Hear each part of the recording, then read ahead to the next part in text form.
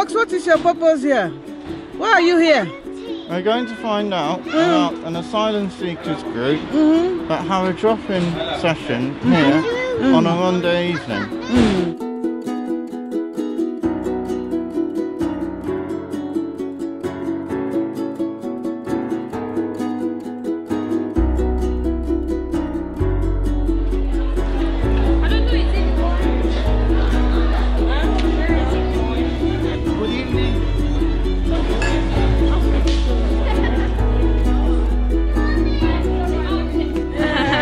I've known you for some time now Uh-huh. at Armley here, Uh-huh. meeting point. Uh-huh. Um, what is your job at Armley?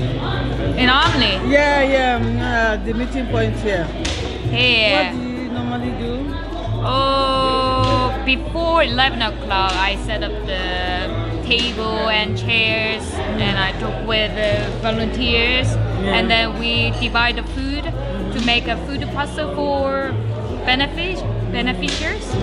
So after that, I do language cafe or kitchen, or I'm helping with the children sometimes. So. Okay. Do you really think um, um, this is a nice place for um, uh, refugees and asylum seekers or the vulnerable or destitute?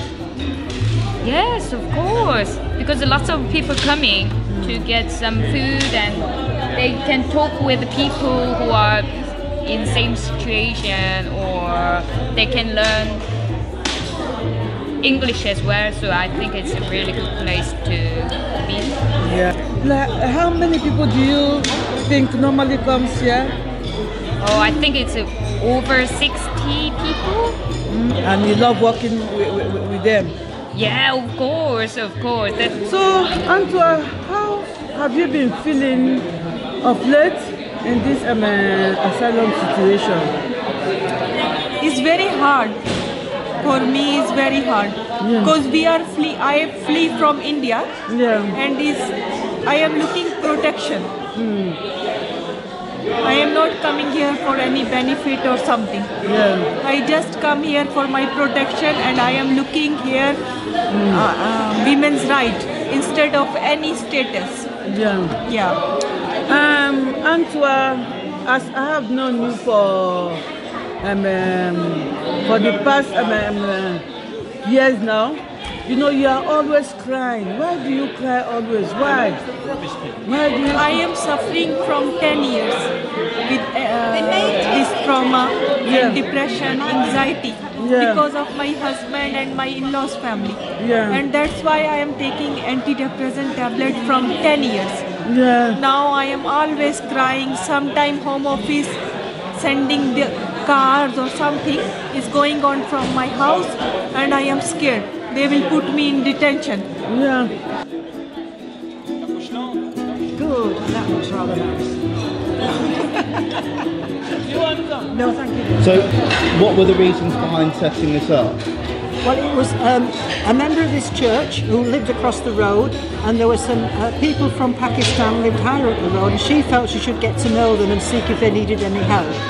There are people here tonight who have been here since the start of the project, like I have, and uh, they've been coming back, and the families have grown up, and they still think this is very much like home.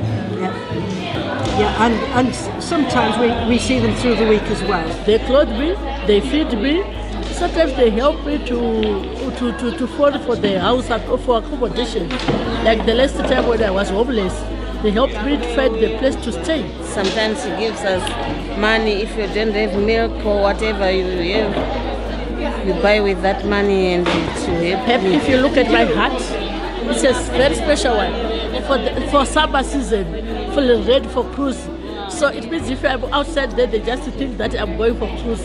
So it really, we went for trips. We have a women's group with lots of functions. They can take us to the film, to the opera. They refer you to all sorts of like counseling people. They can refer you to so many people. And they can call the people who can train us for stress management. So it helps us a lot. If you talk to people to release your stress,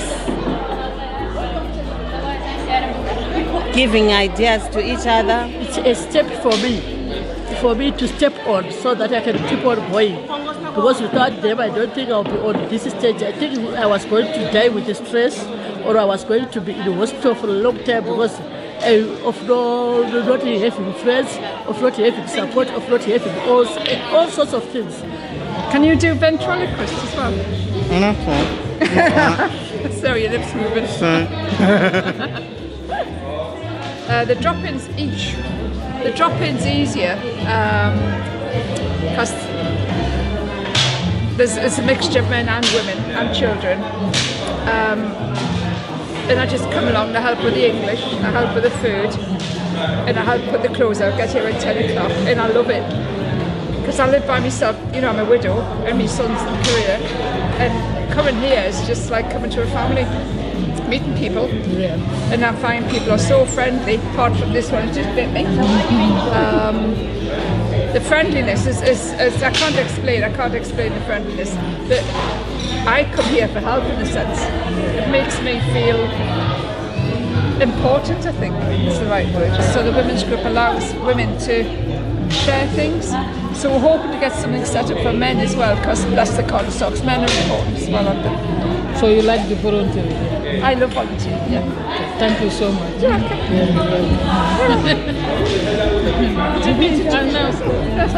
I love it.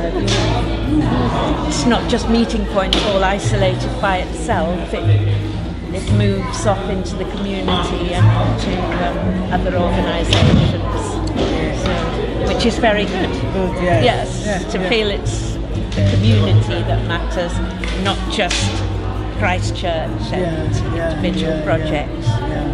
Thank you very much. Okay. Yeah, nice speaking to you. And you. Yeah, thank you for your time. So, um, with your visit here today, um, how do you find it here? Uh, did you enjoy it, or did you find anything interesting? lots of interesting stories from people. Uh-huh. Yeah. Okay. Uh, so you, you love it. Oh, Mr. Fox, we are happy you, you are you came. Thank you. Yeah. Thank you, Mr.